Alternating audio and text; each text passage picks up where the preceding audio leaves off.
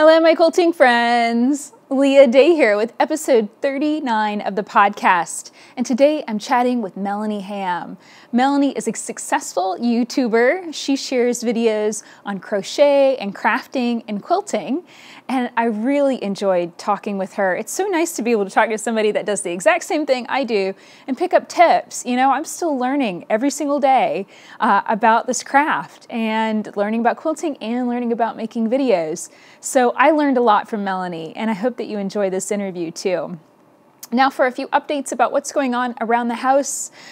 I am working on my Express Your Love embroidery, and here it is. Uh, so you can see a picture of this in the show notes if you're listening to the audio, but basically it is an 8.5 by 11 inch very dense, intense embroidery stitched in uh, both embroidery floss and beads, and it is nearly finished. I am so excited about this. So um, I noticed that I was getting just a little bit of a distortion here where I had uh, really dense embroidery floss. And so I took the entire piece and mounted it on a piece of foam. So this is Bosal In-R-Form. It's a really dense foam kind of fabric and I've been quilting it, basically hand quilting uh, in between the colors of this piece so that way it stabilized it and it sorted out. I kind of pulled on it a little bit and brought it under some tension to take care of a lot of that um, distortion that I was getting. And then uh, what I'm thinking about doing is putting in some black fabric and creating a border around it and I might even put it on the machine and quilt it. So I'm not so sure it's completely like ready to be done yet, but the light is definitely there at the end of the tunnel and that feels really great. So I'm gonna sit here and work on this a bit and stitch on it while I talk through the rest of the intro and what's going on this week. So a recent post that you should definitely check out is my collaboration with Margaret Lewin. So Margaret sent me a diamond quilt block, really cute pink and white block, and I got to quilt it. And Margaret was on the podcast a little while ago, and she really is just she's such a loving, wonderful person. And I decided to tap into that and I put hearts all over this block and then had a really fun time echo quilting it. So check out her video. Uh, she actually took this block and used it as the inspiration to create a whole quilt and quilt along. So she's going to be doing a quilt along. It's called Sarah's Quilt. Uh, she, when I when I made my video, the name of it was Margaret's Medallion Quilt, and the name has since changed. But I will make sure to link this up so you can see uh, her video. She's sharing the whole quilt, and then I got to help her out with just that one block. But I'm going to do a video in a few months when she's a little further along with her quilt along.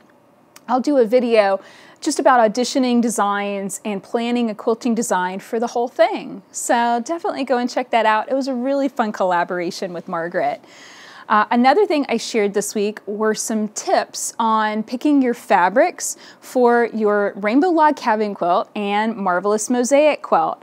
Now this is the quilt along that we're starting in January. So January 2018, we're gonna start the machine quilting party and begin walking foot quilting together. So both of these projects are walking foot quilted. And a lot of people were asking me just about fabric choices and that kind of thing. Um, the material lists you can find at leahday.com slash 2018 party. And so the materials lists are there, but a lot of people wanted to know what I was using and all that good stuff. So I shared a video just with tips on picking fabrics. And the really wonderful thing is all of these quilts that we're making next year are fat quarter friendly. So if you have a big stash of fat quarters and you're ready to let them go, you're ready to use them up, then this is definitely something that you can use up lots and lots of fat quarters for and just, you know, knock out that stash. You know, I love knocking out a big stash so then I can go buy a new stash, you know, because sometimes your fabric tastes change over time. And it's good to be able to kind of clean out the old stuff and then you have a quilt to represent what you loved then, you know, what you loved when you bought that fabric. And then as you buy more stuff, you'll be able to see how your tastes are changing and evolving. And that's really cool. I think that it's good to have a good clean out every once in a while and kind of, you know, get a lot of fabrics knocked out of your stash at once. Uh, now, a couple other things I've been working on. Um, I have been making more progress on my fiction novel, and I have a writing friend who's been helping me uh, kind of keep up with writing and setting weekly goals. And so we've been communicating via Facebook. I'll just call her Kay. Uh, and I just really want to say thank you to Kay for keeping me on track and uh, just having that nice, friendly person to talk to about the writing process and, you know, accountability more than anything else. It was a funny thing. I, I never watched the tutorial for anything because I always am so determined to learn, you know, what I need to know and learn quickly. So I'm too impatient to watch a tutorial. So I barely know how to use Scrivener, the app that I'm using to write in. And it was kind of this happy accident that I figured out how to set up the word count tracker and uh, actually be able to know how many words I was writing every day. And, you know, had I gone through the tutorial, I probably would have known that months ago, but uh, it was a happy accident. So now I can set the daily goal to write a thousand words a day. And I realized that my word count had been slipping quite a bit and I hadn't been writing nearly as much as I wanted to. So I'm back on track with that too, and really trying to not write not be so afraid. You know, I, I realized I kind of let the gremlins in a little bit, and I was um, just kind of getting a little uh, anxious about my characters and anxious about what's going on. And even though I know the plot and I know what needs to be happening, I just need to make everybody do what they're supposed to be doing. I was just getting a little, um, I don't know, just a little worried and scared and a little stuck. So working through that you know, it's nice to be able to have this weekly check-in and be able to share that with you because uh, it's not all easy. And you know, I'm certainly in the part of the book where it's starting to feel hard. Um, the honeymoon phase is over, I guess you could say. And uh, something that's actually really helped is I stitch out a bunny doll. So um, Miss Bunny is a character in the book, and I really want to have dolls to make and, and be able to see the characters from the book. So this is my first not so great attempt at creating a doll. And this is the first doll I've ever tried to design. So I think it's, I mean, it's good in, in the respect of like, hey, my first ever 3D thing.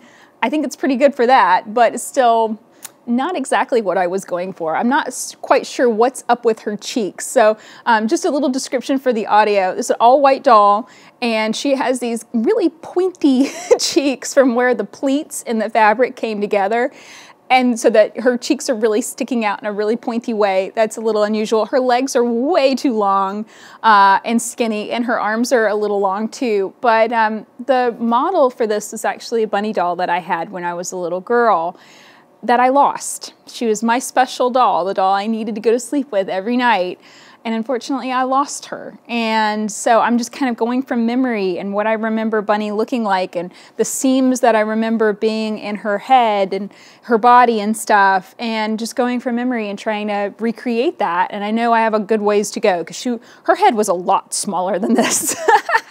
so um, it's, it feels really good to be tapping into that. And I think maybe by having the dolls created and working on that too, I can kind of reinvigorate my desire to keep going with this book and kind of get through this hard part that I'm in, which is feeling a little challenging. Um, another thing that I've been working on is machine embroidery. So then I have a new machine embroidery collection. It's ready for you today, and you can find check it out. Uh, you can find it at leahday.com slash modern. It is marvelous modern designs. So it's 25 designs that will stitch out at 3.9 inches square. And the reason it's 3.9 inches square is because a lot of your smaller embroidery hoops, they say four inches. It's actually 100 millimeters and 100 millimeters doesn't, it, it's just, it's kind of the confusing things of going from millimeters to inches. 100 millimeters actually equals 3.9 uh, inches. So if you actually make and digitize the design at four inches, it actually won't fit into the smallest embroidery hoops. And I really want you to be able to, I want the widest number of people to be able to use these and stitch them out. So um, yeah, 3.9 inches. If you want to upsize them, you can usually do that on most machines. And I'm also trying out some new quilt as you go techniques. Uh, so uh, Jindelle and she wrote in and shared this awesome technique for using a zigzag stitch. And I'm trying to get Jindelle to come on the podcast and talk to us about it and share it. So um, definitely leave a comment to encourage Jindelle to sign up for the podcast and come and chat with me because I can't wait to share this technique. I think it's really going to be awesome. It's going to speed things up so much with as far as getting pieces and blocks put together. So I'm really, really excited about that. So that's pretty much it. That's everything that's going on around the house. Uh, just really getting geared up for the 2018 machine quilting party. You know, there's a lot of videos that I need to get introductions made for and uploaded and that whole nine yards. So I've just been really busy with that and really focused on streamlining everything so that whole event is a lot of fun. It's really easy to follow along, it's easy to find. Uh, and I've been really working on that. So it's, it's there and ready for you guys starting on January 1st. Now, if you'd like to join in that quilt along, just a quick reminder, the only thing that you need to buy from me is a copy of my book, Explore Walking Foot Quilting with Leah Day. That's it. Uh, we don't have any extra fees. The videos go up on YouTube, so they're free. All you need is a copy of the book, and you can find it at leahday.com slash walkingfoot. So that's it for the introduction. Now let's go chat with Melanie Ham about making YouTube videos. Hello, my quilting friends. Leah Day here with Melanie Ham. Welcome to the show, Melanie. Hi, Leah. I'm so excited to be on the show with you today. Excellent. I am too. So, a little introduction so everybody gets to know Melanie. She is best known for her easy to follow video tutorials on YouTube, where she specializes in crochet, quilting, sewing, and DIY projects. You can find her online at melanieham.com and on YouTube, youtube.com slash melanieham. She also has a premium course website course, and that is melaniemakers.com. So, let's get started talking about your business and when did you start making videos and teaching online? Sure. So I started, let's see, I started YouTube back in December of 2011. So it's been a little bit. It's been a, it's been a little bit, but I really started it as a hobby. It really, you know, I never intended for it to be a business necessarily. I mean, it's I kind of thought that would be cool, but it really was an extension of wanting an online community and feeling like I could contribute something and uh, my sister in law was doing YouTube. She was about to quit her job. She does like beauty and lifestyle stuff on YouTube.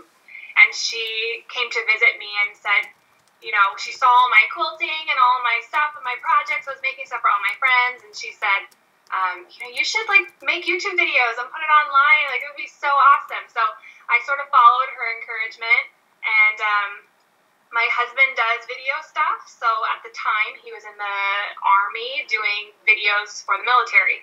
So I had somebody there I could kind of ask questions, and we had a tripod and we had a hand me down Canon camera that had HD video. So, you know, I had an iMac that had iMovie on it. So I had some of those pieces. I didn't feel like I had to invest a lot of money to sort of get started.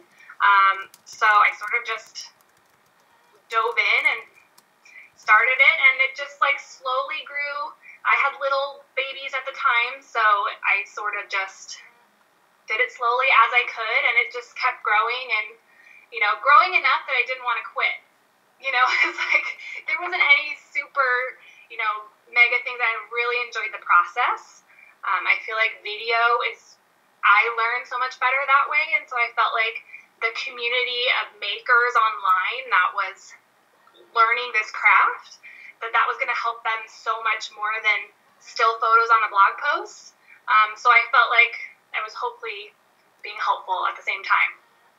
Yeah, I completely understand. So are you a visual learner? I am too. I like totally. I I can learn from a book, but really I want to see somebody do it. Yeah, totally. I feel like uh, you know, the the picture is worth a thousand words, you know, is so true and I think video is even more.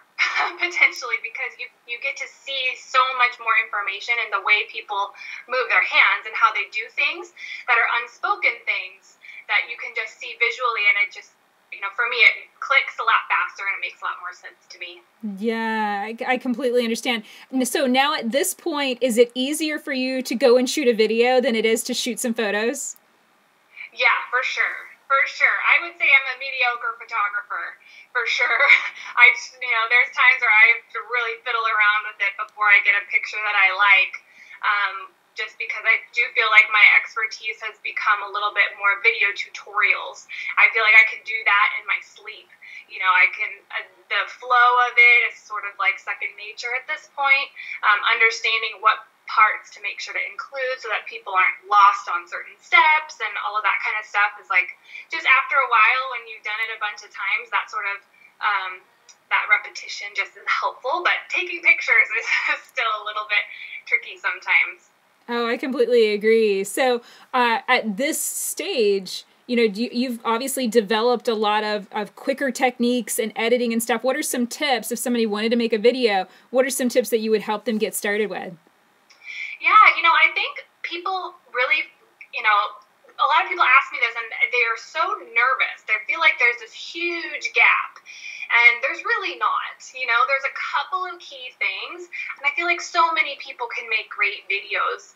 Um, the biggest thing is to use some sort of stability device like a tripod, or, you know, you don't want to be holding on to your camera and you're it's shaking and you're trying to hold your iPhone really still and it just that's not going to work especially when you're trying to show somebody visually a project. Um, you know if you're talking to the camera like at you know at an event or something that's acceptable but you know when you're really trying to show something a tripod I mean and you can even do it on your cell phone. I mean cameras these days on our smartphones are amazing. So they have little tripods for your phone, really easy. And so if you can do that and you can have decent sound so that people can really hear what you're saying, there's really a lot you can do with just having those two pieces be as as on point as possible with the tools that you have. There's no need to go invest in a fancy camera or a fancy microphone or fancy lighting. You can use a window and daylight and as you kind of get used to it, then you can slowly invest in some of those other things. Um, but good sound and stability in making videos, um, really being clear about what you're pointing to so people can really see and understand. You know, I think so many people could could make great videos with just some of those tips. Certainly. So what's been your favorite video that you created so far? You know, I love my quilting series. Um, it's a couple of years old now, but that series nearly killed me because I did it really quickly and I was sort of I put the pressure on myself to try to keep up and, and really deliver those videos pretty quick.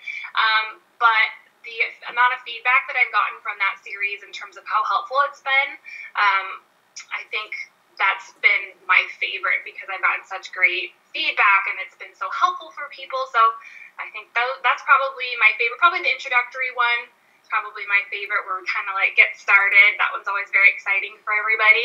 Not everybody gets to the end. Um, but if, you know, it was helpful and a couple people learned some new things along the way, you know, I'm excited about that. I completely agree. Yes, it's so important and it feels so good to be like, I am helping you get started and jump in at the very beginning. And that's that's really rewarding to know that you actually helped somebody make that quilt. And they couldn't do it before they watched your video. So, uh, what you have a really super popular channel. I mean, you have almost 400,000 subscribers. Please tell me how you did that. oh. oh, man, you know, I think a couple of things is uh, consistency. You're you're really consistent on your channel. Um, consistency has uh, you know been key, I think, for me. Um, also, something that's shareable.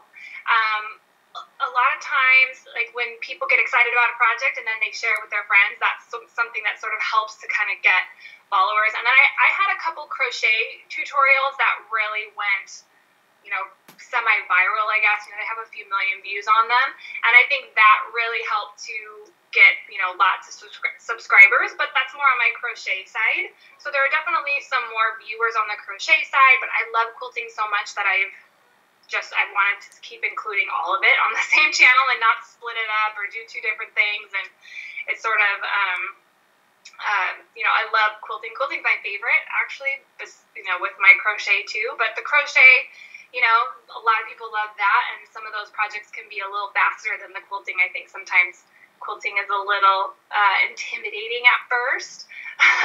for people, I don't know. I don't know why. I don't, but um, I've gotten that feedback sometimes. And some consistency and just trying to get better and trying to improve and trying to get, you know, you know, better equipment here and there as I go and try to make it as professional and engaging and very um, no judgment. We are just practicing. We're just trying, trying to have that sort of feel to it so that, you know, because beginners feel very nervous a lot of times when they're first starting new ta- new uh, new projects, but new skills. And so I think um, that's something I struggled with when I was learning, feeling like I didn't know what I was doing and I felt really dumb and I was like, this should not be that hard. And I felt defeated at times. So I understand what that feels like. And I try as best I can to um, communicate to my audience that that um, that that's okay and that that's totally normal and that you you will, we, we all feel the same way when we're trying to learn a new skill so hopefully all those things combined have kept people coming back and and taking a look at my videos and and um, yeah, it's crazy how how many people are out there. Half the time, I'm like surprised by that number. it's it's amazing. It really is. And I was kind of like, I wonder if Melanie will even email me back. like I'm not kidding. I mean, when you see a number like that, and being a YouTuber and stuff, sometimes it's like you know, you look at numbers and stuff and compare, and that, you know, comparisonitis kind of can set in and stuff. And I was like, I've done a thousand, you know, over a thousand videos and i you know i have a quarter of your followers and so there is that that sense of comparison can sometimes get me stuck i'll be completely honest but hearing what you're saying i'm doing the exact same things and i think the only difference is I, I picked a really niche topic to then make a thousand videos on and that probably is the source of 90% of it. You know, I mean, like free motion quilting, the intense, dense free motion quilting that I love, there's not as many people that like that as like super chunky crochet. And I mean, your crochet videos are amazing. You know, I've, I've looked at those and, you know, uh, some of your blanket tutorials. And I know you're saying that crochet is a little faster and easier, but to me, that, I'm like, my mind is blown. Like, how can you make a whole blanket in one tutorial? How do you do that?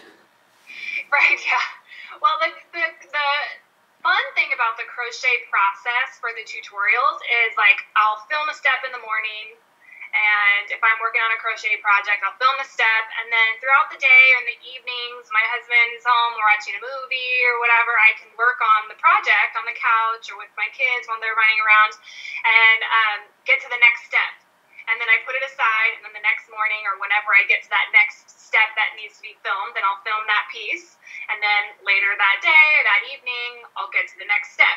So it's kind of one of those. Um, it helps my project.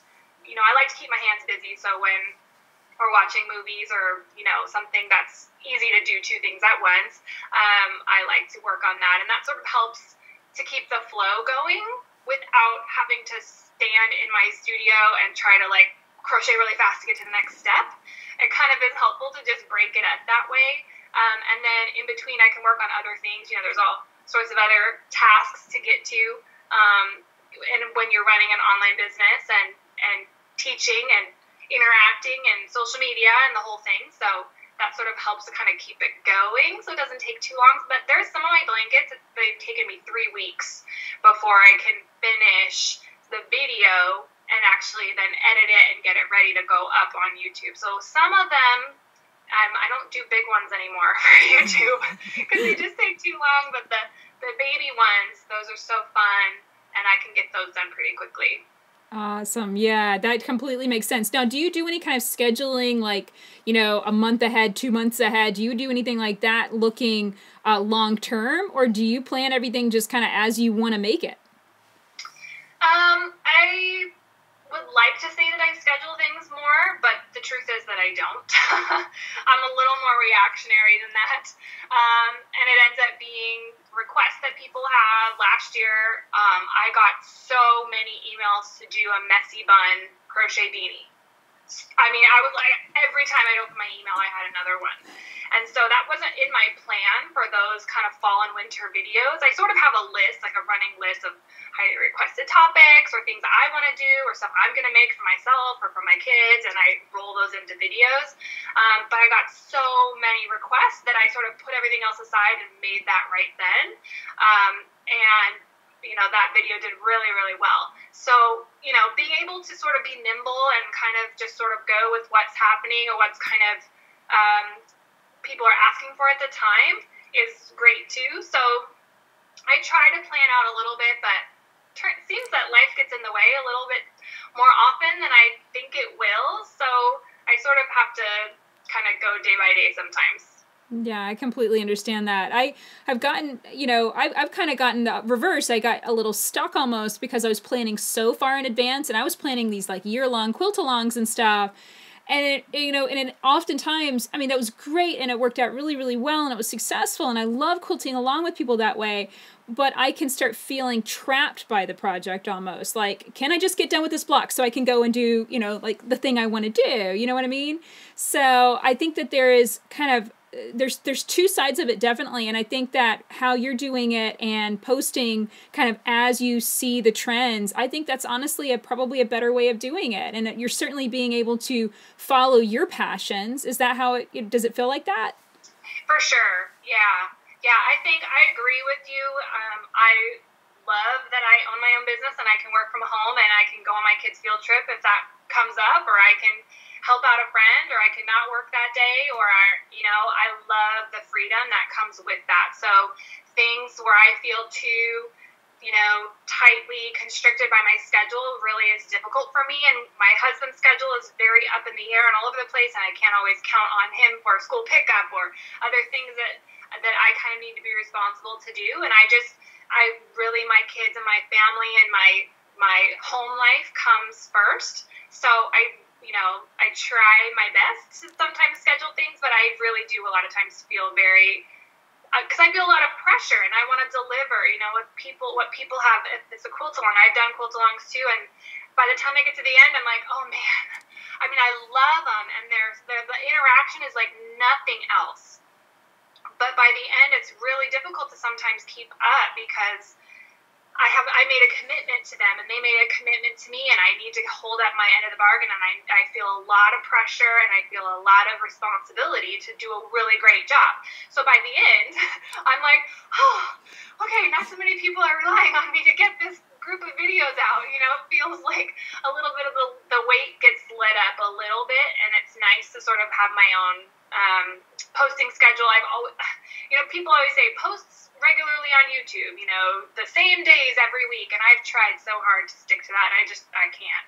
So you know, there's things that come up, or videos take longer, and I feel like I, I am a little more organic that way, and I think people understand that, and and uh, and that that's okay to them too. Like every time I sort of express those, those feelings of like, oh, I'm trying to get this out, I'm trying to get this done for you, and most people are like it's okay. Like, you know, the projects are, they'll be there. Like, we're good, you know? So that's a, you know, my audience is amazing and they're, they're so sweet. Um, but yeah, that, that scheduling thing is tricky because you also want to have a schedule and be able to plan things out and be able to know, you know, the, the schedule allows freedom in a sense too, because you know exactly what's supposed to be, be done that day. You know exactly what's coming. So there is, you know, a as well. Certainly. And I'm so happy to be talking to you about this because I go through the exact same struggles. It's like I feel like I'm talking to like my alter ego. I'm on my like video making quilting twin. it's so wonderful like somebody else that gets it and understands. Like it can be really hard sometimes to feel like I gotta go make that quilt. I gotta go work on that. I've gotta go get that done so that way it's ready and I can edit it and have it ready to go on Monday. And it's like, and then like my kid gets sick and is snotty and like bringing that cold in the house. And it's just sometimes it can feel like a struggle to balance it all. So it's wonderful to hear your experience. So, um, do you ever feel like you have to give something up in order to do this, in order to make certain tutorials? Uh, like just for an example, a lot of the quilting tutorials that are online you know, there's steps that kind of get get skipped, like you know, pre-washing fabric or starching fabric and stuff. That's something that I'm like eh, kind of anal about, and so I always do it in every single video. But I could certainly see how if we got too busy, like that might be something I'd be like, uh, we're not gonna pre-wash fabric on this video just to speed it up a little bit. Is there anything like that that you just have to kind of say can't, don't have time for it? Yeah, for sure. there's um, there's you know when you have a list of things that have to get done for a video, you know, sometimes if you're going to take on something else, something else potentially has to come off, you know. And a lot of times I think um, you can edit around uh, things that aren't finished. And I have done that. I did that the other day. I didn't actually finish quilting my quilt, but these videos had to get up. So I just showed the part that was done. You know, so there have been times where you know, it didn't matter to the video to see the entire quilt finished. My integrity was not compromised in saying that there was something done when it really wasn't true. It didn't really have relevance to the video. Um, the next videos, it needs to be done. You know, so there's, you know, some of those things where it's not necessary, you know, potentially for that one video. Um, but I always verbally like to include as many steps and as much as detail as possible because that was something I was frustrated by when I was learning. And some of those details, like pre washing, pre washing, not pre washing, uh, different types of thread, different types of batting. You know, people just like did it. And you were like, well, what about all these little details? Like, you don't, like, people just sort of, once they've been doing it for a long time, you just sort of do it. And so it's sometimes you know, you're not sure those little nuancy things, like as you get going, or some of those little details, or some of those pieces that can really like help somebody. So I try to, for the sake of, like, for example, a lot of the, some advice I've gotten is, you know, try to keep your video shorter rather than longer. Although now the YouTube algorithms change, and so longer now is better. I mean, you, can't keep up with all of those things, but for a while, I was like, well, I can't make it shorter because I'll be leaving out key ingredients. I'll be leaving out key things that people need to know. And I would be frustrated if I watched this video and it was like going so fast that you couldn't even keep up with what was happening. So there is a part of like your point of view and how you teach and how you, you know, that there are going to be things that have to be included. And then there's maybe other times where you can skip a step as long as the integrity of the video is all still there. Um, and you know, it just sort of depends on the situation. But there are there are times where I have cut corners for the sake of getting something done faster, or I'll do like a mini version if I want to teach a technique. You know, I'll just do like a small little version rather than like a full size blanket or a full size project because I just I can't fit the time in to finish all of that and those hours in between that aren't even on video that's not really helping anybody. It's just taking up my time. So there's you know, a little bit of back and forth, but I definitely think that there's any key ingredients people feel like need to be included, that they know that in their heart, that that they'll they'll you know, you have that little voice that says, I don't know, like and you know, when you when you have that little voice, you have to listen to it because by the end you'll be unhappy with the full result of the video. And so, you know, sometimes there's compromise with that too. Certainly. I, I love that you're on it so honest with that too. And there have been times I've cut corners and then I've totally regretted it. And then there's other times I'm like, oh, I got away with it. Let's keep on moving, you know? And it just, I think you just have to go with it, you know, and make it work. Um, so you have started a premium course website, and that is melaniemakers.com. Uh, so tell me a little bit about that. How does it work? Yeah, so, uh, you know, one of the things I was noticing in terms of how running an online business is there's um, not a lot of ways to take care of your person, like take care of your tribe. And some of the ways I wanted to kind of take care of my tribe a little further was to do quilt alongs and courses and much more in depth stuff than I could really put out on YouTube. So sometimes the YouTube videos, they were just taking too long, and I really just was not able to continue doing super long, in depth quilt along style stuff on YouTube for free. So um, I decided to create a premium website, melaniesmakers.com, and it's like uh, a place where you can go to do that next step. Um, go it's still all video tutorials, and I um, any comments or things that are done through there, I I prioritize those comments above all my other social media. So I feel like I can I can take care of people a little bit better if they have specific questions or they need a little bit more hand holding or they have some um, little hangups as they're going along. They have a little bit more access to me versus a YouTube comment that I'm not always able to answer or always able to get to and then I can kind of take care of that community a little bit better. So um, that was something I've been really excited about how it's been turning out. It's been um, very well received, and everyone's been having a blast kind of participating in those classes. And we have then a private Facebook group for all of my course members, and everybody can kind of interact and share not just my project, they can share just whatever they're working on. Um, but that's been a really fun addition to uh, my uh, you know my capabilities as a creator and as a maker, and helping to take care of my my people. Certainly. So, what is the deciding factor uh, whether you put a video up on a on your uh, content site on your courses as a course or give it away for free? Like, what's the deciding factor? What makes the split? Sure. So I always want to be able to provide free content on YouTube and on the blog. That that I feel like is where I got started, and I feel very strongly to continue doing that to some extent. Um, I also feel like though, as part, you know, as a YouTuber, you get, you know, a couple pennies per view. It's really not a viable um, source of income in terms of being able to continue it full time. So there's some of both. There's a lot of times my smaller sort of technique videos go on YouTube. I'll do full projects on there as well sometimes just to kind of mix it up and still make sure that I'm taking care of my overall tribe rather than the, the smaller tribe that's sort of invested in my courses. Um, but if it's something that's more detailed, that needs several videos, where I have to put together like a you know big PDF and I make patterns and things like that, then oftentimes I'll have those be for sale. And I, you know I price my products so that I feel in my heart like I'm giving it away. You know, so I really try to make sure that I I'm not at all hesitant about the price. That keeps everything very affordable and keeps everybody happy, but it also helps to supplement some of those free content, you know, things as well because I'm able to do more of those when I have other income sources coming in and you know, kind of helps to kind of create a more well-rounded, uh, you know, business, but also be able to take care of people and and make sure that I'm providing the sort of content that is helpful. Absolutely. I do the same thing. I call them video workshops. And it's, you know, I look at it as exactly what you said. When I want to go in depth and when I want to show something step by step, sometimes it can be an entire quilt project start to finish. And, you know, you know, I, I've had experience with putting that on YouTube, and sometimes people don't, they don't stick around to watch all the videos.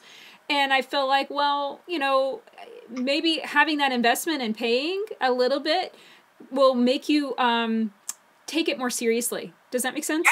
Yeah. yeah, for sure. You've got some skin in the game and you've invested some money and you'll finish it. You get a lot more finished products and finished um, projects that people have created and that have then spent that time with you, that love you, and that then understand what it is that you're teaching all the way to the end. I mean, I definitely think that's totally true. A series of videos and a full quilt along on YouTube, it just it's not necessarily the platform for that. Um, but technique videos, quick tips, um, shorter projects, and then some some bigger things thrown in there as well. It is it's a great platform for that for finding new people to bring into the tribe, and then be able to take care of them on a deeper level as they've determined that they like your style, they like your projects, and what you have to offer. Um, but it, going in depth on YouTube is just really hard, you know, these days. I think you, you want that viewer to stay with you through the whole video, but if it's not quite what they're looking for, they click out and they it's very distracting being on YouTube sometimes. There's so many amazing things to see. So yeah, I love that that mm. idea. Excellent. Well, so uh, one thing I've been focusing on a lot lately is great work. So, uh, good work, great work, bad work. You know, it's kind of like looking at what you're doing every day in a different way. So, good work is like the work that pays the bills, it gets the job done. Uh, great work can do that too, but it's also that special work that means more to you, that feels fulfilling. So, what to you is your great work? And do you feel like you're doing a lot of that every day? Yeah, you know, um, when I'm in my studio, I feel like it's great work. Even if it's a project that was a requested project, even if it's something I didn't kind of like come up with or that's for me or my kids or something like that, I feel like that's where I want to be. When I'm sitting at my computer with, you know, emails and answering comments and some of that kind of stuff, scheduling social media and all these sort of things that have to get done um, but my soul does not feel as, as uh, satisfied when I'm sitting at the computer, and I can really only do it for so long before my studio is right in the door behind me, and it's like I and my computer is like across the hallway, so I'm like I want to go back, I want to go back in there. Can I please go back in there? So I love um, just creating and that process of making. I love going on. Uh, I do live videos every Monday on my Facebook page. I love the live interaction and kind of being able to quickly answer questions and and demo a project. I love that interaction. I feel like that is very fulfilling in terms of. Um, instant gratification. Somebody had a question, they got an answer right then and there. I can demonstrate it real time. So I love that. And you know, pretty much anything I can do where I'm in my studio or, uh, you know, working with my hands or making something, you know, I feel really happy about that. Um, but that the computer work's gotta gotta get done too, and that's part of an online business. That's part of trying to manage it and deliver it out there. Editing is very important, and it's all it's it's important work, and it's necessary, but it's not always as soul feeding as the actual making part. Absolutely. I completely agree. Well, I know I could sit here and talk to you for at least another hour about all of this stuff, but this is the question I always ask everybody, and that is what are you looking forward to most in the next five years? Oh, in the next five years. You know, I I've often had big dreams, big goals for my business, and sometimes, you know, let's bring it back and simplify. You know, sometimes it's it's like I've got this I want to do, on this I want to do, and move forward, move forward, move, do do this, do that, and it's just like you know, amazing projects are really where it's at. Um, it's not about owning a new line of this or opening up a shop or having all these other things happening. You know, a lot of times that ends up being a lot more headache. So I think, you know, just simplifying, I'm looking forward to, in terms of my business, um, just being able to reach more people with great projects and be able to inspire them to make something for themselves that you know inspires them uh, not only with their capability or their possibility. I just love that that interaction especially with beginners that really can kind of flip that switch and really understand like wow i can totally do this. I just i love that so much. And so being able to do more of that is you know so amazing to me, you know, on a business level and, and kind of keep doing what I'm doing, but just slowly kind of grow it out.